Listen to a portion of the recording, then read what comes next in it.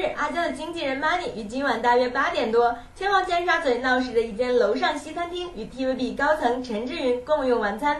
Money 两个小时后在大厦正门离去。记者问到阿娇是否会复出时，Money 回应是，但不会是这个月。因為佢都傾一個廣告，係咪即係經常咗個個牛仔褲品牌嗰個？嗰啲咪廣告上都拍咗㗎啦，係啊。咁會唔會快啲有少少嘅動向？即係大家都關心佢啊嘛，大家都關心佢。你放心啦，你小心。好快就會出嚟同大家見。會係嚟緊呢個月嘅。會啊會啊會。志華傾咗啲乜嘢啊？我食飯嘅，我都食飯嘅。拜拜。